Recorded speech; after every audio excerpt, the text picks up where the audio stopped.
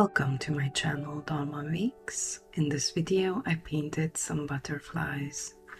Come along for the process. I started with a canvas board that I already put down a layer of black and I'm following that up by sponging on a layer of black and green. I'm using a sponge because I want the texture. I want a little bit of tooth on that background and also it doesn't leave any brush strokes for the large area. Paint the background though, I'm going to be using two different greens, a nice deep green and a yellowish green and I'm just going to be painting on these organic shapes. I want to kind of illustrate some vegetation in the far background, kind of out of focus. So I'm just using my brush in mostly a stippling motion to create all of these little distinct clusters and shapes. And I'm just varying the colors, mixing them right on the brush. I've brought in a little bit of white and I've lightened that yellowish green quite a lot and um, I'm using it to create something that could look like clusters of wildflowers. Those little white wildflowers that are so common in meadows. I'm also using a really stiff uh, bristle brush um, and like holding it horizontally just to like mark the canvas and create more of that fuzzy out of focus illusion. Also going in with a detail brush just to bring in actually some shapes that are still like in the background but a little bit closer. Um, just a little bit more in focus. And that's what it looks like at this stage. I, of course, leave this layer to completely dry. And I'm going to start to work on the foreground.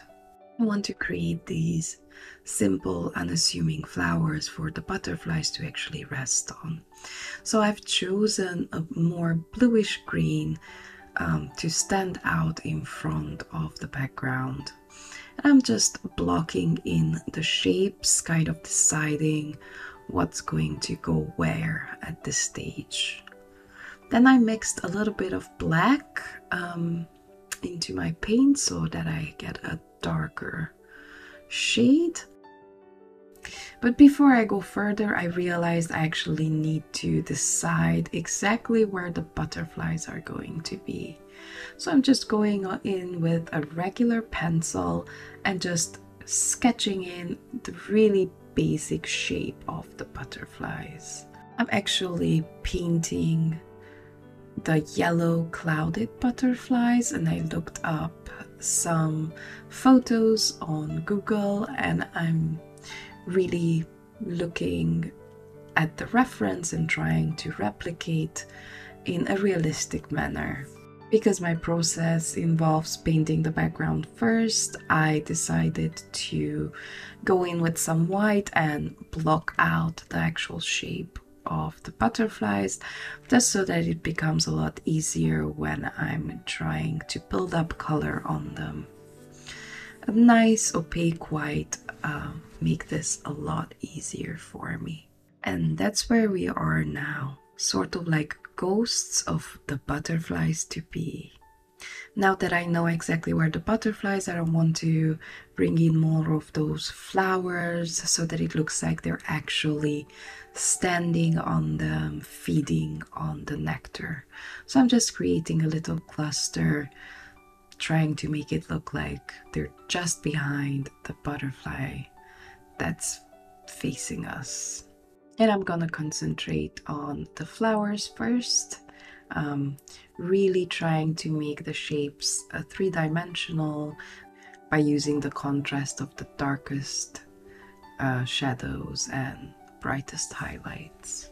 These flowers are fictional, but they're inspired by some photo references I got. I wanted them to be a little fuller, a little bit more interesting than what I was seeing in the photos of the butterflies. Great care, trying to suggest this rounded shape on the base of the flowers. And then I'm actually going to make the petals a nice peach color.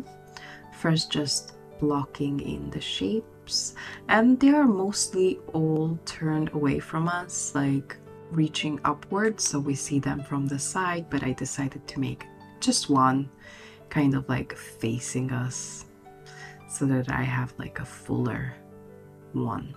And a little close up of what I've got so far. Just struggling to focus the camera. After that first layer of peach, I mixed a much darker color and going in for shading. I want it to look like there's lots of small petals kind of like bunched together in these flowers. I'm putting the darker closer to the base and leaving the tips lighter. I also wanted a variation as far as the openness of the flowers went, so that some of them are still more like buds and others are more fully open. And of course, the one that's facing us, I actually got to paint the interesting middle. I always like uh, to paint the middle of the flowers. They are just so fascinating. The complexity of the stamens and everything that's in there is just beautiful.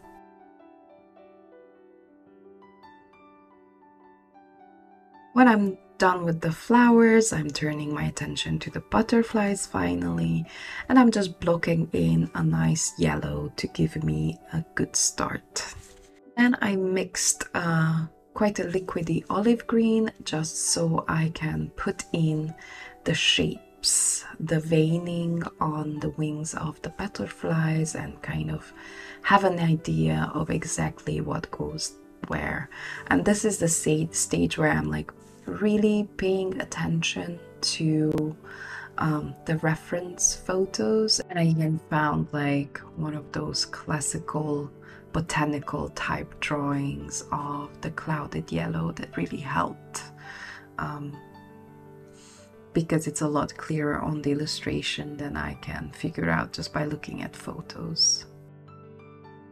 Big decision time, going in with actual black to pick out those spots and the nice black edges of the wings of the butterfly. So what's interesting about this butterfly, it's literally two-sided. So when it has its wings open, it has this beautiful black framing around the nice yellow wings. But when the its wings is closed, um, that black disappears and only a faint, uh, thin line can be seen from it, and it's mostly greenish yellow.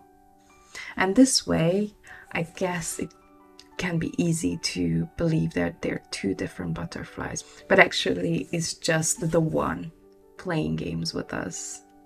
And that's why I decided that this is going to be the composition of my painting. I wanted to show off that it's the same butterfly, but with two different sides.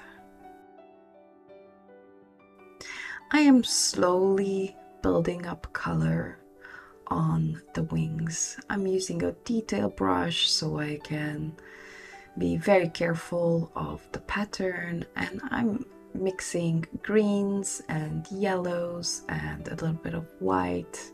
I'm just trying to replicate the butterfly quite realistically, but I'm not striving for hyperrealism. I still want it to feel like it's my painting and that some kind of artistic decisions have been made.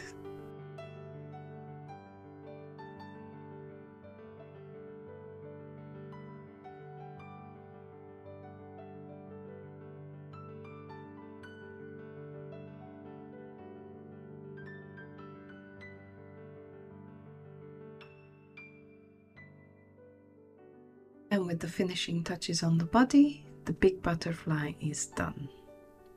So I'm turning my attention to the small one on the top and basically going through the same process, segment by segment, layering in the color on those wings, referencing the photos that were up on a screen right in front of me, and striving for some kind of accuracy.